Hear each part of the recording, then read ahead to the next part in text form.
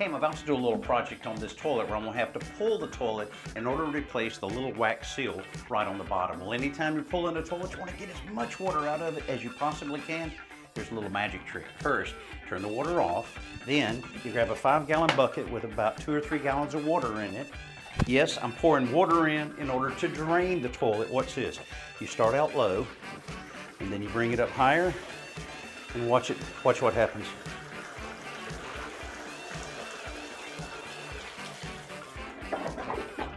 There you go. You have it low enough now that just an old dirty rag with some gloves on it, it's clean and you're ready to pull the toilet without any mess at all.